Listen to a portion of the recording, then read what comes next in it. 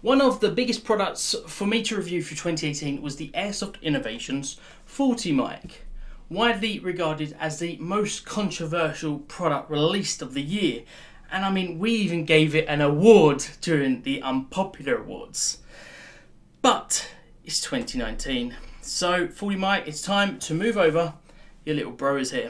This is the Master Mike, and boy, does he have some expectations to live up to.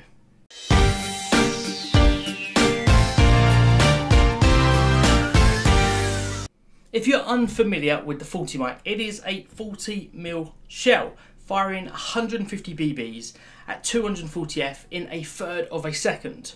It's widely banned across UK sites and was a crazy talking back point for weeks, even months, as players debated its use case. This was through 2018 and it was banned for kind of two main reasons. Firstly, the marketing, where the main phrase that came to mind was always the pain train.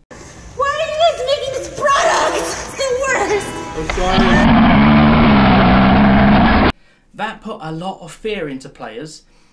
To add to that, we had some players and YouTubers firing them very close up on individual players rather than using it at the recommended minimum engagement distance of 30 meters and hitting a group.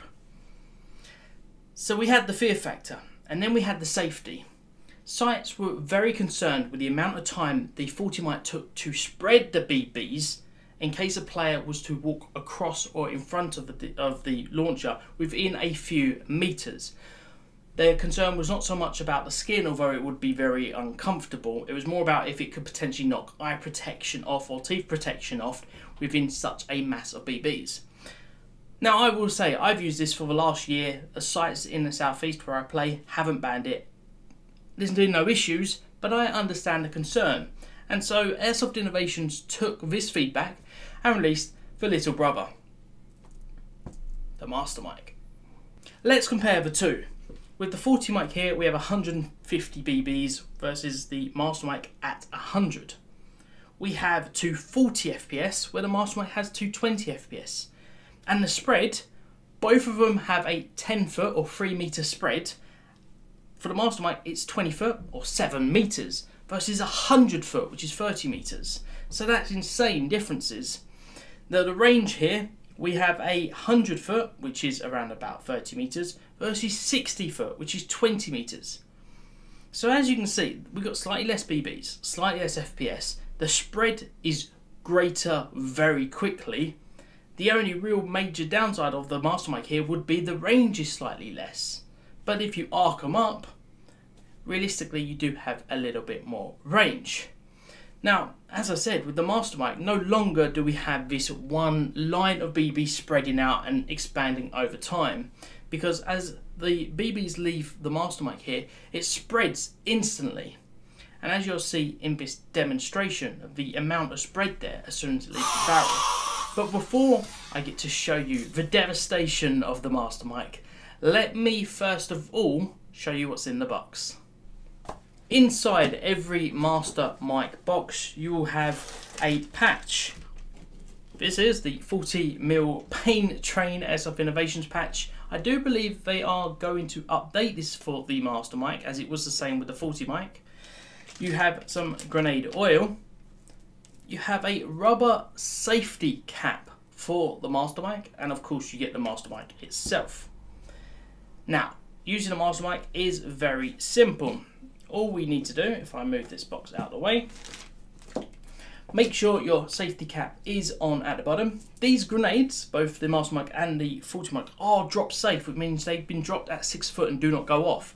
But this safety cap makes sure you cannot accidentally misfire them. So we put the cap on, we would load 100 BBs into the top here. And when you reach capacity, you'll have some BBs at the end here. Put your finger over, hold it over, flip it, just make a second, flip back over. You may then need to add some more until you reach capacity again and then pour out the remaining 10 or so BBs. The only other thing to do is to gas it up. For that I will always advise putting iPro on just in case. And we gas this up with NuProl 2.0. simple.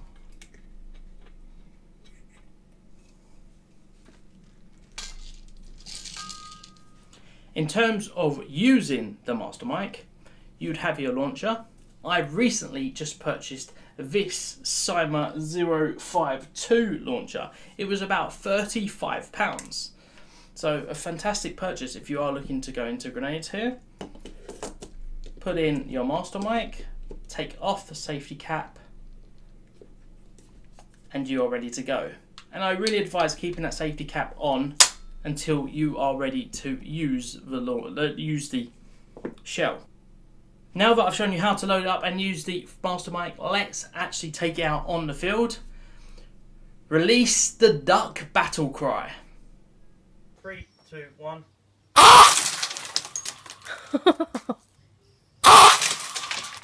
now that got you.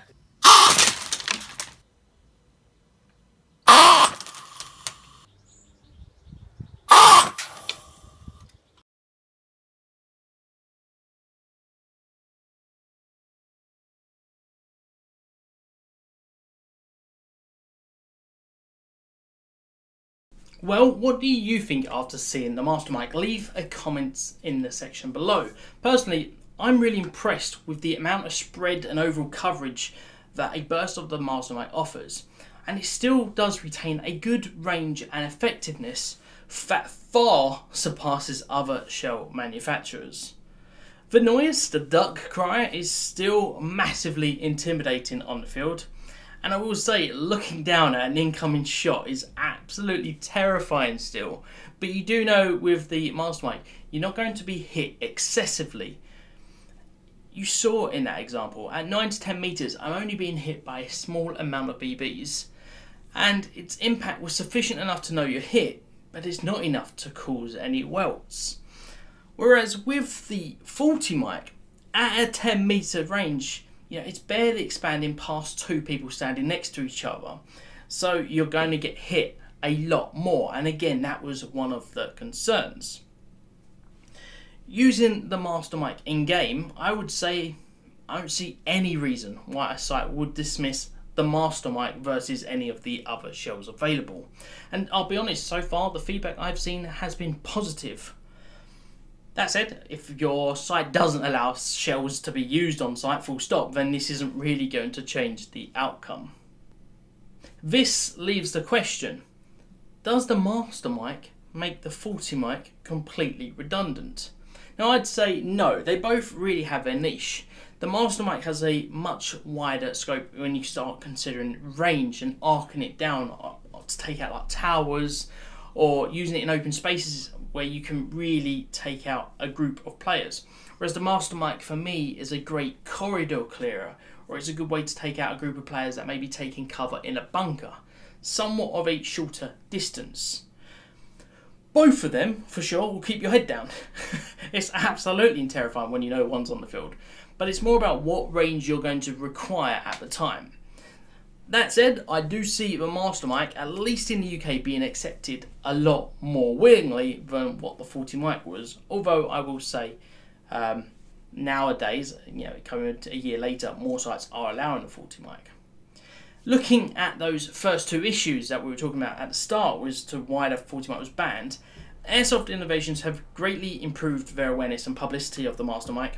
They still do quirky promotions like they did with the Master Mike, but it's definitely a less more emphasis on the pain train. In terms of the secondary issue with the concern to safety at a short distance in an event of an accident, knocking off the glasses is going to be completely irrelevant with a grenade like this. Since the spread is so quickly, it's got less BBs and less power, you're not going to get a situation that wouldn't still happen with any other shell or BB gun. All in all, I'm absolutely loving the Master Mike. I think Airsoft Innovations have listened to the feedback and created a product that we wanted. It's almost like this should have came out the year before and then the 40 Mike comes out this year and kind of warming us up into it. But I think the Master Mike answers a great need and with a launcher like this for £35 you really can't go wrong with taking one on the field. If you haven't watched the 40 Mike review and you still are interested or would like to read it, check it out up here. Don't forget to subscribe to the channel down here and let YouTube pick one of the other videos that we have on the channel up here. Thank you so much for watching and we'll see you next time.